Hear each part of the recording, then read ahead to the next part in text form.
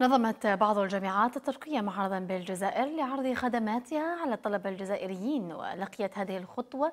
ترحيبا من طرف الطلبة المهتمين بالدراسة في تركيا والذين توافدوا آه، لهذا المعرض قصد معرفة كل ما يلزم لمواصلة الدراسة بالجامعات التركية. التغطية لسيد أحمد هديبل وهاجر بوعلي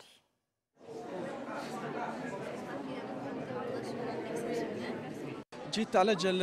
pour faire des renseignements sur l'étude en turc شفت لقيت لقينا l'annonce تاعهم فيسبوك وعجبنا هكا جينا إن شاء الله. بصح ce que nous avons لقينا un problème concernant les prix sont très chers par rapport الدراهم تاعنا يجوا شوية غاليين. هذا المعرض هذا.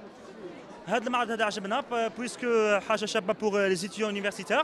بون بصفتي كطالب سابق وخريج جامعه تكوين متواصل أنا ماذا بيا إن شاء الله ثاني يكون عندنا أمل باش نقروا في جامعة تركيا لأن جامعة تركيا من أعظم الجامعات في العالم وهي جامعات التي تفتح صدرها لكل الشباب الذين يريدون أن يتمدرسون بجامعتها. جميع الأسعار عجبوني وحنا نتمنى من السلطات تاعنا المعنية من الوزاره الوصية وزاره التعليم العالي البحث العلمي أنها تساعد الشباب ثاني منحة ثاني ما تجيش من طرف واحد